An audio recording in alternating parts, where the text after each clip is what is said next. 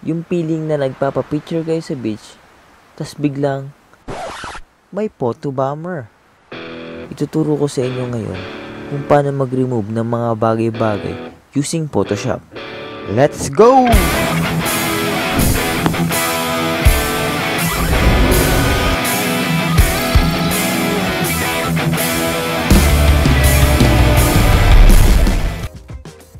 Welcome guys!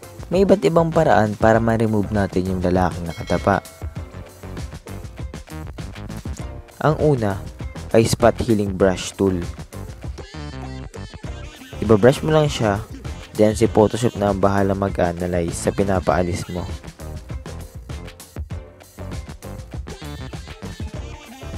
Pangalawa naman ay ang healing brush tool. Pipili ka ng isang area na nais mong ipagaya kay Photoshop. Hold Alt, then click sa gusto mong area, then ibabrush. Makikita natin na ginagaya niya yung napili nating area sa binabrush mo.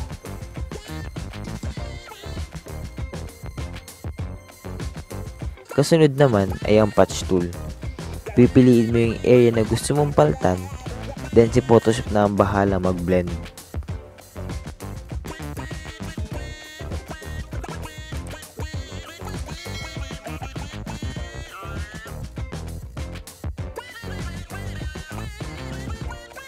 Isa pang paraan ay ang Content Aware Move Tool. Pipili ka ng isang area na gusto mong igaya sa isang pwesto.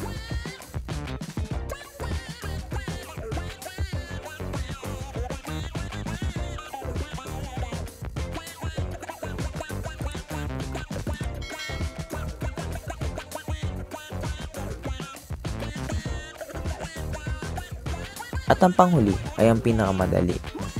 Gagamit tayo ng lasso tool, then isa-select natin siya kasama ang shadow at reflection.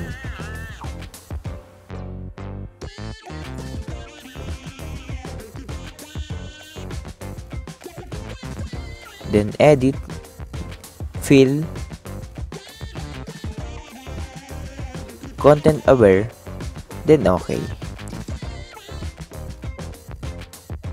O, di ba? Pwede din nating i-remove yung mga dumi sa baba. Gamitin lang natin yung limang paraan.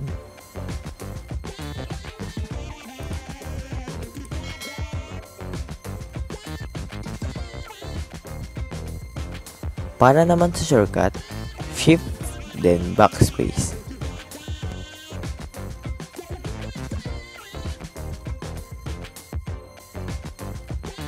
Ito na guys, tapos na. Sana may natutunan kayo.